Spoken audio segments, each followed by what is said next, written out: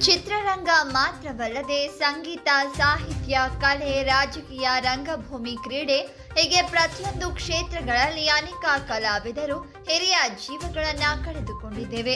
ಇದೀಗ ಖ್ಯಾತ ನಿರೂಪಕಿ ನೆನೆ ತಮ್ಮ ನಿವಾಸದಲ್ಲಿ ಕೊನೆಯುಸಿರೆಳೆದಿದ್ದಾರೆ.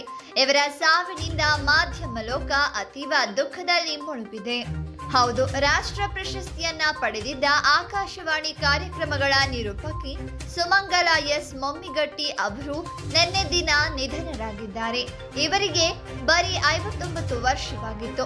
ಕೆಲ ತಿಂಗಳಿನಿಂದ ಅನಾರೋಗ್ಯದಿಂದ ಬಳಲ್ತಾ ಇದ್ದಂತ ಅವರು ಆಸ್ಪತ್ರೆಗೆ ದಾಖಲಾಗಿ ಚಿಕಿತ್ಸೆಯನ್ನ ಪಡಿತಾ ಇದ್ರು. ಇನ್ನು ನಿನ್ನೆ ಚಿಕಿತ್ಸೆ ಫಲಿಸದೆ ಅವರು ಆಸ್ಪತ್ರೆಯಲ್ಲಿ ಕೇವಲ ಐವತ್ತೊಂಬತ್ತು ವರ್ಷಕ್ಕೆ ನಿಧನರಾಗಿದ್ದಾರೆ.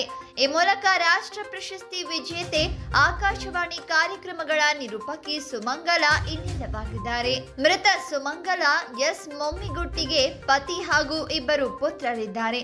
ನಲವತ್ತಕ್ಕೂ ಅಧಿಕ ವಿಜ್ಞಾನ ಕೃತಿಗಳನ್ನ ಸಾವಿರಾರು ಲೇಖನಗಳನ್ನ ನೂರಾರು ವಿಜ್ಞಾನ ಕಾರ್ಯಕ್ರಮಗಳನ್ನ ನಿರೂಪಣೆ ಮಾಡಿದಂತ ಕೀರ್ತಿ ಇವರಿಗೆ ಸಲ್ಲತ್ತೆ. ಪರಿಸರ ಪ್ರಶಸ್ತಿ ರೇಡಿಯೋ ಆಸ್ಕರ್ ಅಂತಾರಾಷ್ಟ್ರೀಯ ಪ್ರಶಸ್ತಿಗೂ ಇವರು ಭಾಜನರಾಗಿದ್ರು. ಇನ್ನು ಅನೇಕ ಕಾರ್ಯಕ್ರಮಗಳನ್ನ ನಡೆಸಿಕೊಟ್ಟಿದ್ದಾರೆ. ಇವರು ಅಪಾರವಾದ ಅಭಿಮಾನಿ ಬಳಗವನ್ನ ಕೂಡ ಸಂಪಾದಿಸಿದ್ದಾರೆ. ಇನ್ನು ಇವರ ಸಾವಿಗೆ ಅನೇಕ ಗಣ್ಯರು ಸಂತಾಪವನ್ನ ಸೂಚಿಸ್ತಾ ಇದ್ದು, ನೀವು ಕೂಡ ಇವರ ಆತ್ಮಕ್ಕೆ ಶಾಂತಿ ಕೋರಿ, ಓಂ ಶಾಂತಿ ಅಥವಾ ಆರ್ ಅಂತ ಕಾಮೆಂಟ್ ಮಾಡಿ.